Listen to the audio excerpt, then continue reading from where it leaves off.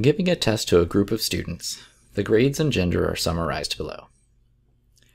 If one student is chosen at random, find the probability that the student was male. So out of this group, there are 17 male students out of 56 total. So 17 over 56 will give us the probability of 0.304. Find the probability that a student was male and got an A. So male and got an A. There's nine of those out of 56. So when you have an AND probability with a contingency table, you're looking at the intersection of two groups.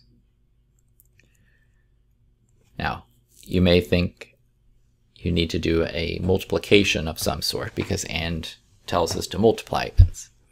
And that is possible to do here, but it's much simpler just to think in terms of the intersection of those two groups. Or we do have to think in terms of adding things and be careful so that we don't double count anything. So the probability that a student was male, there's 17 males.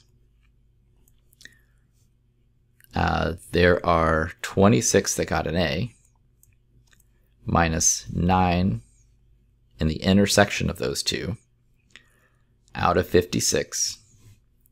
That gives us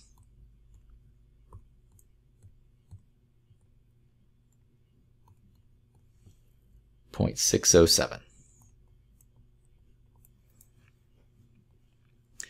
If one student is chosen at random, find the probability that the student was male, given that they got an A.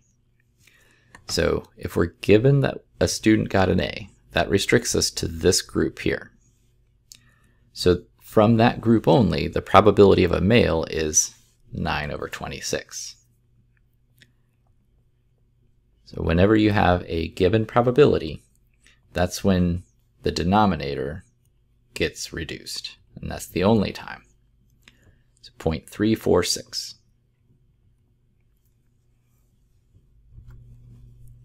And I just realized I didn't convert uh, part B to a decimal. So 9 over 56.161.